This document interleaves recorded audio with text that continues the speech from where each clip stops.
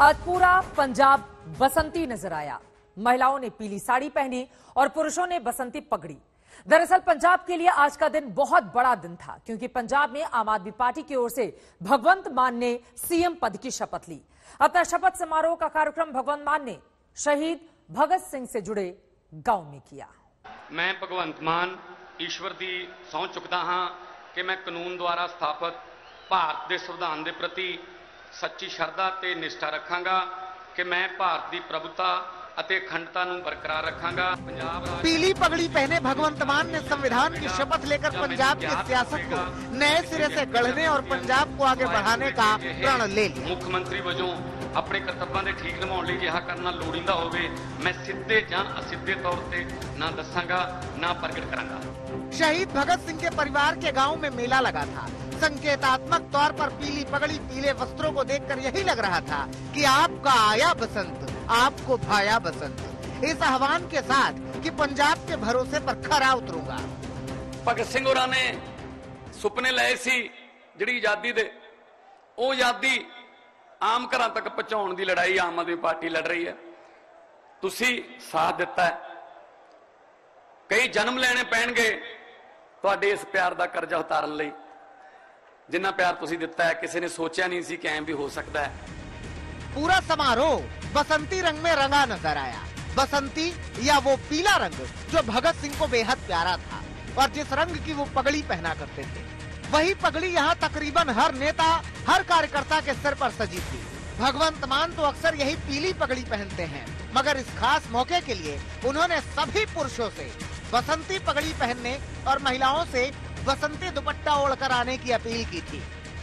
देखो, पीली पगड़ी का यहाँ तक संबंध है। एमपी बना फ़र्स्ट टाइम तो आमतौर पर जो सर्टिफिकेट मिलता है एमपी का डिप्टी कमिश्नर से कलेक्टर बोल देते हैं आपके यहाँ तो आमतौर पर वो पार्टी के प्रधान के पास जाते हैं कि जी, मैंने ये सीट जीत कर आपकी झोली में डाल दी।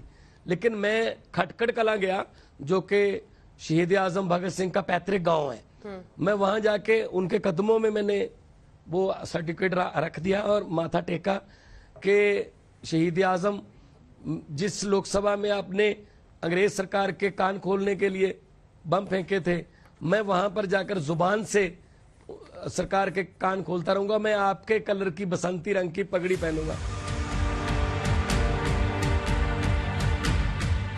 2017 में ना सही 2022 में ही सही। आम आदमी पार्टी ने पंजाब में इंकलाब कर दिखाया। जहाँ अब तक कभी कांग्रेस तो कभी अकाली दल बीजेपी की सरकार बनती रही, उसी पंजाब के लोगों ने पहली बार एक तीसरी पार्टी को प्रचंड बहुमत दिया और ये बहुमत पंजाब को ड्रग्स और भ्रष्टाचार से मुक्त कर तरक्की की राह पर ले जाने के वादों पर मिला है।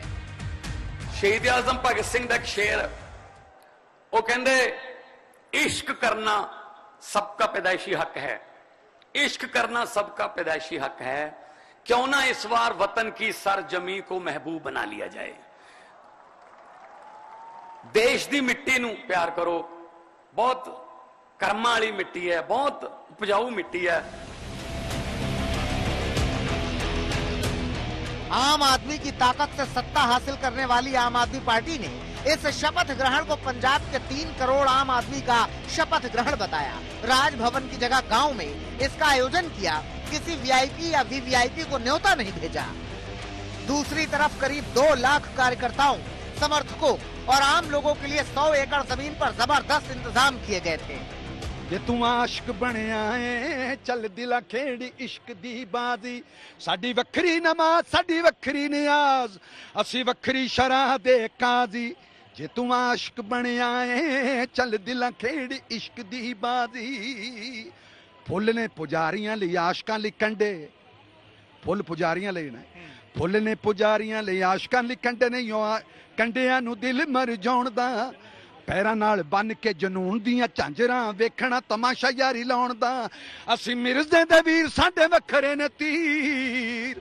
ਅਸੀਂ ਮਿਰਜ਼ੇ ਦੇ ਵੀਰ ਸਾਡੇ ਵੱਖਰੇ ਨੇ ਤੀਰ।